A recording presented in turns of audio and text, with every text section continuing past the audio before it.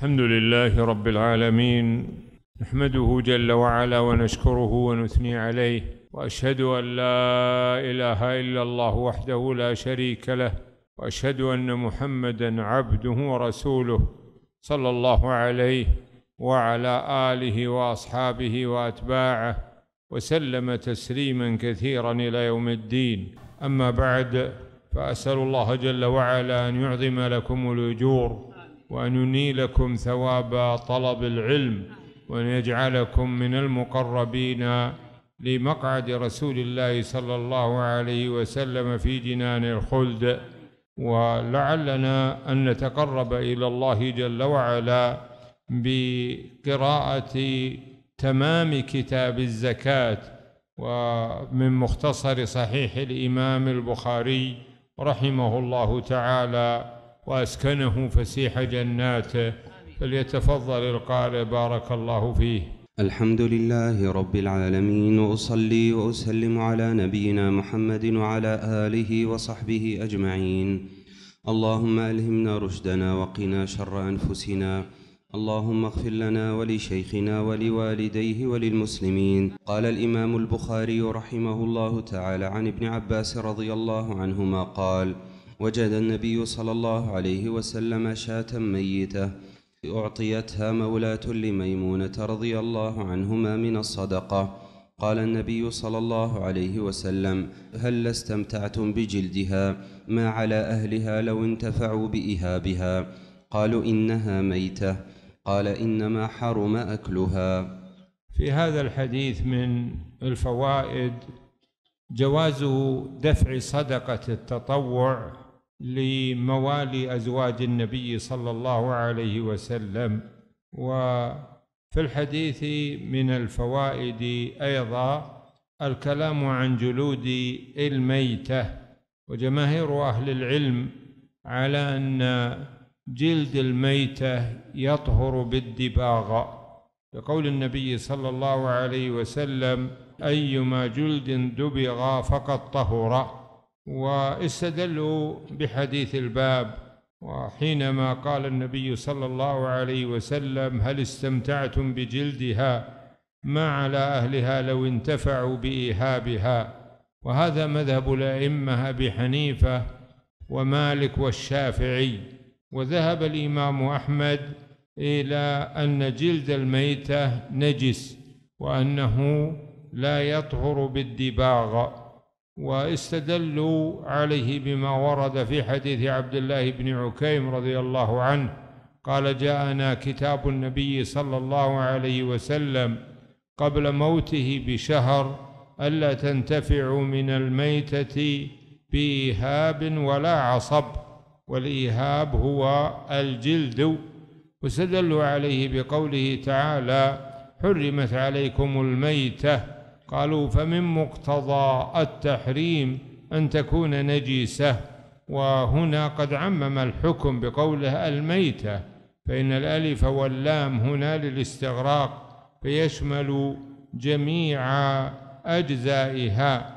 ولعل قول الجمهور أقوى لتتابع الأحاديث بجواز الانتفاع بجلد الميتة بعد دبغه. وأما حديث عبد الله بن عكيم فلعل المراد به الجلد قبل الدباغة فإنه قد حكى بعض أهل العلم من أهل اللغة أن اسم الإيهاب إنما يطلق على الجلد قبل الدباغ وأما بعد الدباغ فإنه يسمى جلدا ولذا قال هنا إنما حرم أكلها. وفيه إشارة إلى أن الأحكام الشرعية ومنها التحريم إنما تصدق على الأفعال فأما الذوات فإنه لا يحكم عليها بالحكم التكليفي. نعم. ثابكم الله. قال عن أنس رضي الله عنه أن النبي صلى الله عليه وسلم أوتي بلحم تصدق به على بريرة رضي الله عنها فقال هو عليها صدقة وهو لنا هدية. بريرة رضي الله عنها كانت أمة مملوكة فاتفقت مع مالكيها على أن تدفع لهم تسع أواق على أن تعتق بدفع ذلك. فذهبت إلى عائشة وطلبت منها أن تعينها على ذلك. فرضيت عائشة بذلك على أن يكون الولاء لها فدفع لها المال فعتقت بذلك فأصبحت من موالي أم المؤمنين عائشة رضي الله عنها. وفي هذا دلالة على جواز دفع الصدقة صدقة التطوع لموالي أزواج النبي صلى الله عليه وسلم. وفي الحديث جواز التصدق باللحم خصوصا إذا كان هناك حاجة له. وفي الحديث قبول الهدية ومشروعية دفع الهدية. وفي الحديث أن المال يتغير حكمه بتغير نوع التصرف فيه. فهذا اللحم كان صدقة لما تصدق به على بريرة فلما أهدته أصبح مال هدية ولم يعد مال صدقة ولذا أكل منه النبي صلى الله عليه وسلم. وقد قعد الفقهاء قاعدة في هذا الباب فقالوا تبدل سبب الملك يقوم مقام تبدل الذات. أحسن الله إليكم. قال عن عبد الله بن أبي أوفى رضي الله عنهما وكان من أصحاب الشجرة. قال كان النبي صلى الله عليه وسلم إذا أتاه قوم بصدقتهم قال اللهم صل على آل فلان. فأتاه أبي بصدقته فقال اللهم صل على آل أبي أوفى. في الحديث من الفوائد فضل غزوة الحديبية وبيعة الرضوان فإن عبد الله قد أثني عليه بكونه من أصحاب الشجرة. وفي الحديث جواز دفع الصدقات والزكوات إلى الإمام وأن الذمة تبرأ بذلك. وفي الحديث مشروعية دعاء الإمام لدافع الصدقة. وفي الحديث جمع الجماعة صدقاتهم لتدفع مرة واحدة كما كان القوم يأتونه بصدقاتهم. وقوله اللهم صل على آل فلان معناه اللهم أثني عليهم. وذلك أن لفظ الصلاة قد يراد به الثناء. وبعض العلماء قال بأن الصلاة يراد بها الدعاء. وفي هذا جواز إطلاق لفظ الصلاة على غير الأنبياء عليهم السلام ولكن لا يكون ذلك شعارا وإنما يطلق إذا وجد مقتضي له. وفي الحديث من الفوائد جواز الصلاة على غير النبي صلى الله عليه وسلم إذا لم يجعل شعارا. خصوصا إذا صدر من الإنسان ما يكون سببا للثناء عليه. أحسن الله إليكم. قال عن أبي هريرة رضي الله عنه أن رسول الله صلى الله عليه وسلم قال العجماء جرحها جبار والبئر جبار والمعدن جبار وفي الركاز الخمس. قوله العجماء يراد بها البهيمة. سميت بهذا الاسم لأنه لا يفهم ما تنطق به وقوله العجماء جرحها جبار أي أنه هدر فإذا قدر أن البهيمة أتلفت شيئا من أموال الآخرين خصوصا بمؤخرها فإنما أتلفته هدر لأن مسؤولية حفظ الأموال يقوم على أربابها. وبالتالي فما أتلفته كان بسبب إهمال أصحاب تلك الأموال فلا يتحمل مالك البهيمة شيئا من التلفيات المترتبة على عمل البهائم. وقوله والبئر جبار يعني لو قدر أن هناك شخصا حفر بئرا فجاء آخر فسقط فيه فإن حافر البئر ومالك البئر لا ضمان عليهم فلا يجب عليهم دية ولا يجب عليهم دفع قيمة ما تلف في تلك البئر وذلك لأن المسؤولية في توقي هذه الآبار على من مر بها ومن هنا قعد الفقهاء قاعدة بأن أنه إذا اجتمع مباشر ومتسبب فالحكم على المباشر ما لم يكن معذورا. وقوله والمعدن جبار يعني أن من حفر لأخذ المعادن أو من تلف بسببها فإنه لا ضمان على من حفر أو من كان المعدن له. وقوله وفي الركاز الخمس المراد بالركاز أموال الجاهلية التي لا يعلم لها مالك فإنه يجب على من وجدها أن يدفع فيها الخمس عشرون في المئة يدفعها إلى بيت المال. نعم. ثابكم الله قال عن ابن عمر رضي الله عنهما قال فرض رسول الله صلى الله عليه وسلم زكاة الفطر من رمضان صاعا من تمر أو ساعا من شعير على العبد والحر والذكر والأنثى والصغير والكبير من المسلمين. وأمر بها أن تؤدى قبل خروج الناس إلى الصلاة. قال عبد الله فجعل الناس عدله مدين من حنطة. قال نافع فكان ابن عمر رضي الله عنهما يعطي التمر فأعوز أهل المدينة من التمر فأعطى شعيرا فكان ابن عمر يعطي عن الصغير والكبير حتى إن كان يعطي عن بني وكان ابن عمر يعطي الذين يقبلونها وكانوا يعطون قبل الفطر بيوم أو يومين. في هذا الحديث وجوب صدقة الفطر. صدقة الفطر تتعلق بانتهاء شهر رمضان كأنه لما أبقى الله عز وجل الشخص سنة أدى زكاة عن نفسه بأن يدفع صاعا للمساكين. ففي الحديث أن زكاة الفطر واجب من الواجبات. وفي الحديث تعلق زكاة الفطر بشهر رمضان. وقد اختلف أهل العلم في وقت دفع زكاة الفطر فقال بعض الشافعية تدفع في الشهر كله ويجوز أن تدفع من أول الشهر لقوله زكاة الفطر من رمضان. وذهب طائفة إلى جواز دفعها في السنة كلها.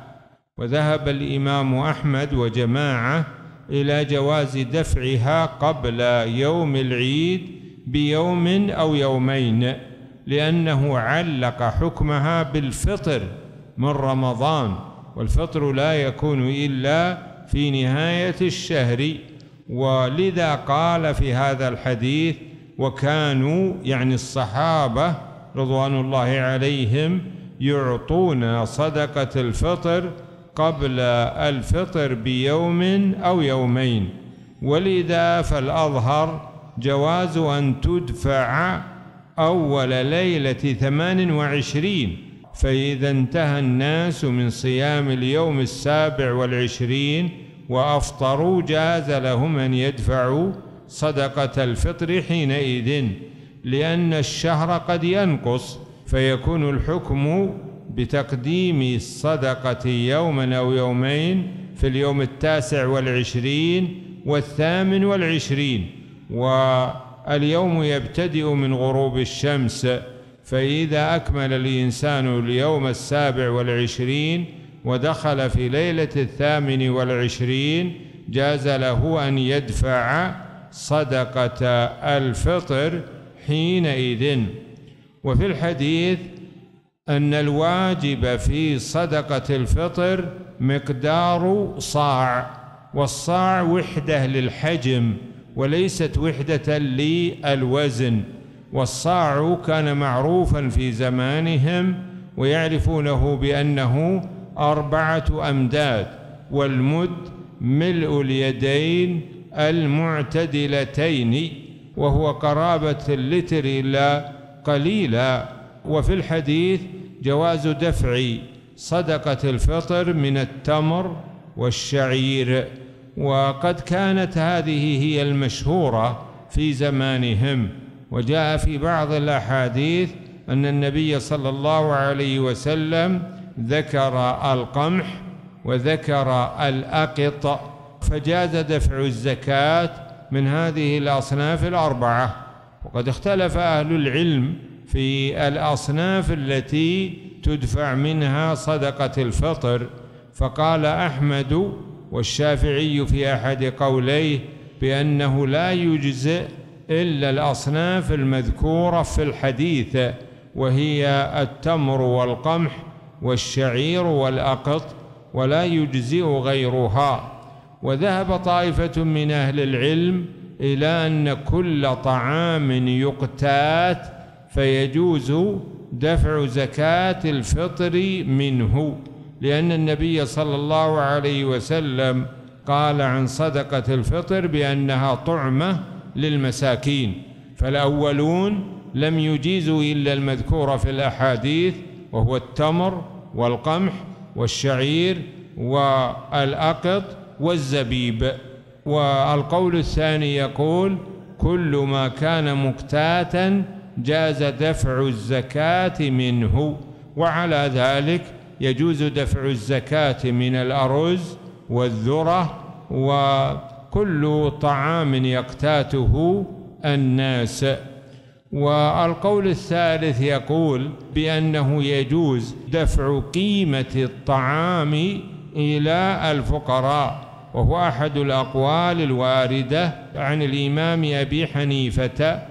رضي الله عنه. وهذا القول فيه نظر من جهة أن الأحاديث نصت على ما يجوز إخراجه في صدقة الفطر فتعين حينئذ ألا يقال بجواز إخراج صدقة الفطر إلا منها وما ماثلها والقيمة ليست مماثلة لها. ويدل على ذلك أن أقيام هذه السلع متفاوتة وبالتالي لا يمكن أن يضبط ما هو قيمة لها. وإذا تأمل الإنسان وجد أن صدقة الفطر متى أخرجت من الطعام لم يأخذها إلا المحتاج حقيقة بينما إذا كانت من النقود أخذها من لم تكن حاجته بذاك. ثم إذا كانت صدقة الفطر من الطعام لم يأخذ منها المسكين إلا بمقدار حاجته وقد يزيد قليلا. لكن إذا كانت صدقة الفطر من النقود فإن المسكين لا يكتفي بالقليل بل يطلب الشيء الكثير فيكون من الأحظ للفقير ألا يترك باب منافسته في أخذ زكاة الفطر مفتوحا لئلا يدخل معه من كانت حاجته أقل ولئلا يستولي فقير على جميع صدقات الفطر. وحينئذ يظهر لنا أنه لا يجزئ إخراج صدقة الفطر من النقود وأنه لا بد من إخراجها من الطعام. وفي الحديث من الفوائد أن صدقة الفطر متعلقة بمن يمونهم الإنسان وينفق عليهم في شهر رمضان. ومن هنا يجب على الإنسان أن يخرج الزكاة زكاة الفطر على كل من ينفق عليهم سواء من ذريته أو من قرابته أو من مماليكه أو من خدمه أيضا. وفي الحديث أنه يجب على الإنسان إخراجها عمن تحت يده من المماليك والأحرار والذكور والإناث والصغار والكبار. وظاهر هذا أن زكاة الفطر لا يجب إخراجها عن الحمل في بطن أمه. وقد ورد عن عثمان رضي الله عنه أنه أخرج زكاة الفطر عن الحمل. ولذا قال العلماء بأنه يستحب إخراجها عن الجنين في بطن أمه وإن لم يكن ذلك واجبا. وفي الحديث انحصار وجوب زكاة الفطر في المسلمين فمن كان تحت يده من ليس بمسلم من خدم أو مماليك لم يجب عليه إخراج زكاة الفطر عنهم. وفي الحديث وجوب إخراج زكاة الفطر قبل صلاة العيد فلا يجوز للإنسان أن يؤخر صدقة الفطر عن يوم العيد. لكن لو قدر أن إنسانا أهمل فخرج عليه العيد وهو لم يخرج صدقة الفطر فحينئذ إن كان في يومه قال الحنابلة أخرجها في يوم العيد لأن النبي صلى الله عليه وسلم قد بين أن صدقة الفطر تغني الناس عن السؤال في يوم العيد ولذا قال أغنوهم عن السؤال. وأما إذا كان تذكره بعد ذلك فإن أهل العلم قد اختلفوا في الحكم حينئذ. فقال طائفة يخرج صدقة الفطر متى تذكرها. وقال آخرون لا يخرجها إلا من السنة القادمة ليتحقق فيها نفس المعنى بإغناء الفقراء عن السؤال في يوم ضيافة الرحمن. وفي الحديث من الفوائد جواز إخراج زكاة الفطر من الحنطة وهي القمح وقد استدل جماعة بهذا الحديث على أنه إذا أخرج زكاة الفطر من القمح أجزاه أن يخرج نصف صاع. وهذا مذهب أحمد وجماعة لأن عبد الله قال فجعل الناس يعيد له مدين من حنطة. وقد جاء في حديث أبي سعيد أن معاوية قال أرى مدا من هذا يعدل مدين والأظهر من أقوال أهل العلم أن صدقة الفطر من الحنطة تماثل صدقة الفطر من غيرها من السلع والإكتفاء بنصف الصاع في الحنطة إنما هو اجتهاد لبعض الصحابة رضوان الله عليهم. والأحاديث قد دلت على أن الواجب إخراج صاع كامل في صدقة الفطر. ومن ثم فإن الأظهر أنه يجب أن تكون صدقة الفطر بالغة الصاع متى أخرجت من الحنطة وفي الحديث من الفوائد تقديم التمر على غيره من السلع في صدقة الفطر ولذا قدم ذكرها فقال صاعا من تمر. ولذا كان ابن عمر يخرج التمر في صدقة الفطر. وفي الحديث أنه إذا لم يوجد الفاضل من ما يخرج في صدقة الفطر فلا بأس بإخراج غيره ولذا لما فقدت التمر أعطى ابن عمر شعيرا. وفي الحديث جواز أن يخرج الإنسان صدقة الفطر عن غيره ولو لم تجب نفقته. ولذا أخرج ابن عمر صدقة الفطر عن أبناء نافع رضوان الله عنهم.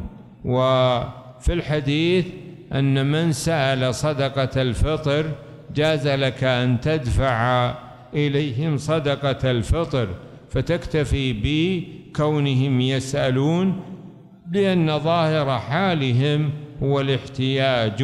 نعم. حسن الله إليكم. قال عن أبي سعيد رضي الله عنه قال كنا نطعم في زمن النبي صلى الله عليه وسلم الصدقة زكاة الفطر يوم الفطر صاعا من طعام أو صاعا من شعير أو صاعا من تمر أو صاعا من أقط أو صاعا من زبيب.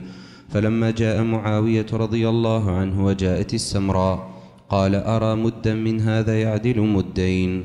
في الحديث مشروعية صدقة الفطر وفيه استمرار الصحابة على أداء صدقة الفطر في حياة النبي صلى الله عليه وسلم وبعد وفاته. وفي الحديث الاستدلال بإقرار النبي صلى الله عليه وسلم. ولذا قال أبو سعيد كنا نطعم في زمن النبي صلى الله عليه وسلم الصدقة. وفي الحديث إطلاق اسم الصدقة على زكاة الفطر. وفي الحديث أن إخراج زكاة الفطر في يوم العيد أولى وأحسن. لمن كان واثقا من نفسه أنه سيخرجها في ذلك اليوم خشية من أن يفوت عليه الوقت. وفي الحديث أن الواجب في صدقة الفطر مقدار صاع وقوله صاعا من طعام قال طائفة بأن المراد به الحنطة وقال آخرون بل هو يشمل جميع أنواع الطعام. وهذه اللفظة تدل على رجحان قول من قال بأن صدقة الفطر تدفع من ما يقتاته الناس من أنواع الأطعمة. وفي الحديث أن الواجب في صدقة الفطر هو صاع وفي الحديث جواز إخراج صدقة الفطر من هذه السلع القمح والشعير والتمر والأقط والزبيب. وفي الحديث أن الواجب في زكاة الفطر هو مقدار الصاع وأنه لا يلزم ما زاد عن ذلك. واستدل طائفة بحديث الباب على أن صدقة الفطر إذا دفعت من القمح جاز الاكتفاء على نصف صاع. ولكن هذا اجتهاد من معاوية رضي الله عنه. اجتهاده متى خالف الظاهر النص لم تقبل منه. وفي الحديث من الفوائد إطلاق اسم الطعام على كل ما يطعم أو على البر خاصة. وفي الحديث اجتهادات معاوية رضي الله عنه في مقدار ما يتم إخراجه في صدقة الفطر. فهذه أحكام متعلقة بهذه الأحاديث التي ذكرها المؤلف في كتاب الزكاة وبهذا يكمل هذا الكتاب. أسأل الله جل وعلا أن يعظم لكم الأجور وأن يكثر لكم الثواب. وأن يتقبل منكم الأعمال الصالحة كما نسأله جل وعلا أن يهب لنا علما نافعا وعملا صالحا ونية خالصة. ونسأله جل وعلا أن يجعلنا من أهل جنان الخلد وأن يرزقنا رفقة محمد صلى الله عليه وسلم. كما نسأله جل وعلا أن يصلح أحوال المسلمين في مشارق الأرض ومغاربها وأن يبارك فيهم وأن يجعلهم هداة مهتدين. ونسأله جل وعلا أن يصلح قلوبنا وأن يغفر ذنوبنا وأن يوفق ولاة أمرنا لكل خير وأن يجعلهم من أسباب الهدى والتقى والصلاح والسعادة للناس أجمعين. هذا والله أعلم. وصلى الله على نبينا محمد وعلى آله وصحبه أجمعين.